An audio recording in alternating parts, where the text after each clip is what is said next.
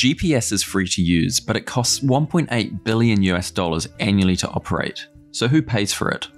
The United States Department of Defense started GPS in 1973, and the first satellites were launched in 1978.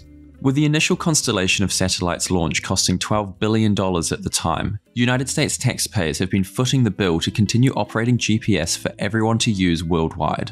Different parts of the budget currently fall under the US Department of Defense and the newly formed US Space Force.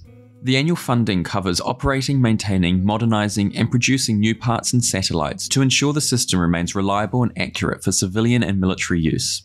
GPS hasn't been a launch and forget sort of thing. In the last 10 years, 12 new GPS satellites have been launched, with more planned up to 2034 and 16 planned for the remainder of this decade alone. With a cost of about 250 million US dollars per GPS satellite, that's an estimated $4 billion in satellite procurement costs alone. These new satellites have improved technology, with newer satellites having anti jam capabilities for the military, for example. For comparison, Europe's Galileo satellite system costs about $900 million a year to operate and is funded by the European Union.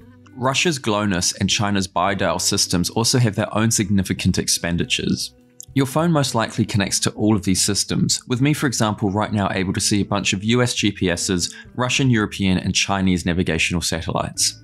The economic benefits of GPS and other navigational satellite systems far outweigh these costs. It is estimated that there are trillions of dollars worth of economic benefits each decade through efficiency and environmental benefits, such as better navigational routes that reduce emissions.